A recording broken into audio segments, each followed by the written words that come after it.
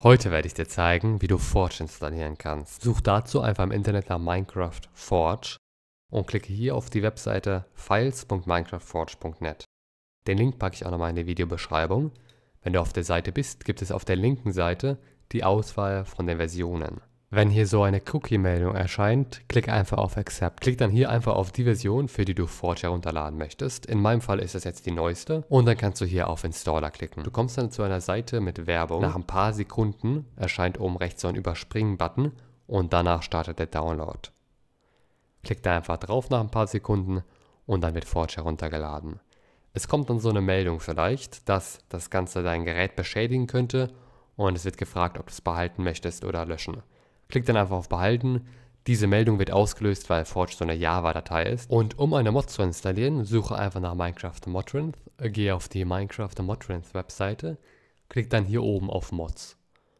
Und hier auf der linken Seite kannst du nach Kategorien sortieren und auch nach Loadern. Und hier siehst du Forge.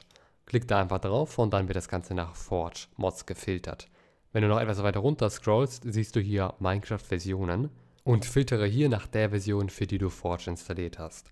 In meinem Fall ist das jetzt hier die neueste. Manchmal aktualisiert Modtrends nicht automatisch, dann kannst du das Ganze einfach neu laden und dann wird es aktualisiert. Ich werde jetzt hier nach der Just Enough Items Mod suchen. Und dann klicke ich hier einfach auf diese Mod drauf und mach das einfach so mit deiner Mod auch. Einfach auf die Mod klicken, dann bist du auf der Mods Webseite und klick dann hier auf Version und dann siehst du, für zum Beispiel Forge gibt es das und für Fabric und so weiter. Wähle eben für Forge die Mod aus und eben auch für deine Version. Und klick dann hier auf Download und dann wird das Ganze heruntergeladen. Es kommt vielleicht zu einer Meldung und die fragt dich, ob du das behalten möchtest. Klick einfach wieder auf Behalten. Das ist auch aus dem Grund, dass das eben eine Java-Datei ist. Klicke ansonsten einfach hier drauf, um das Ganze zu installieren. Dann kommst du nämlich in den Downloads-Ordner. Und falls er schon verschwunden ist, kannst du hier auf die drei Punkte klicken, dann auf Downloads und dann einfach hier hin. Dann bist du wieder im Downloads-Ordner. Und hier kannst du einfach einen Doppelklick auf die Forge-Datei klicken. Und falls dieser Installer nicht erscheint, dann schau dir einfach mein Forge-Lösen-Tutorial an. Da habe ich dir gezeigt, was du machen kannst, wenn dieser Installer nicht erscheint. Ansonsten klick einfach auf OK und dann wird das Ganze installiert werden. Es kommt dann hier die Meldung, dass das Ganze erfolgreich installiert wurde. Und die Meldung ist super wichtig. Die sagt dir nämlich, dass es auf jeden Fall funktioniert hat. Da kannst du auf OK klicken. Und um die Mod zu installieren, kannst du einfach deinen Minecraft Launcher starten. Und dann siehst du hier direkt Minecraft Forge hier unten. Das Ganze funktioniert natürlich nur mit der Minecraft Java Edition. Mit der Windows Edition funktioniert es nicht. Die Java Edition war mal ganz lange kostenlos, solange man die Windows Edition hatte. Also schau mal hier, was da steht, ob da einfach installieren steht. Ansonsten kannst du einfach hier bei Installationen draufklicken und dann auf dieses Ordner-Symbol hier klicken. Und dann kommst du in den Minecraft-Ordner. Und in diesem Ordner gibt es den Mods-Ordner vielleicht. Falls es den gibt, einfach einen Rechtsklick drauf und auf Löschen.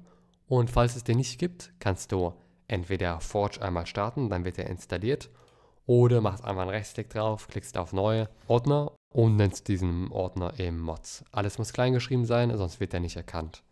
Und dann kannst du einfach in diesen Mods-Ordner die Mod ziehen. In meinem Fall werde ich einfach aus dem Downloads-Ordner die Mod rüber kopieren, so und dann ist das in dem Mods-Ordner drin. Dann kann man das Ganze schließen, dann einfach auf Starten klicken bei Forge und dann wird eben Minecraft mit Forge gestartet. Und dann ist Minecraft gestartet und du siehst hier unten rechts Forge und drei Mods loaded. Du kannst dann hier in dem Mods-Menü sehen, dass die Just Enough Items Mod installiert ist. Und wenn du dann in das Kreativinventar zum Beispiel gehst, kannst du hier Just Enough Items sehen. Und so kannst du eben eine Mod installieren. Wenn du eine Frage hast, dann schreib einen Kommentar. Bis dahin, ciao.